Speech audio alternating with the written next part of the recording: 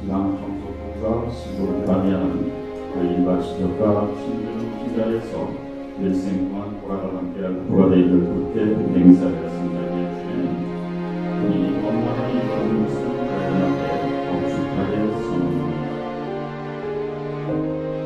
어, 다미야 이제 우리 결혼이 끝나서 지금 일단은 아직도 정신이 없긴 없는데 어, 옷가라가 옷가라입으로 간그 짧은 시간에 잠깐이나마 이렇게 영상 메시지를 보낸다.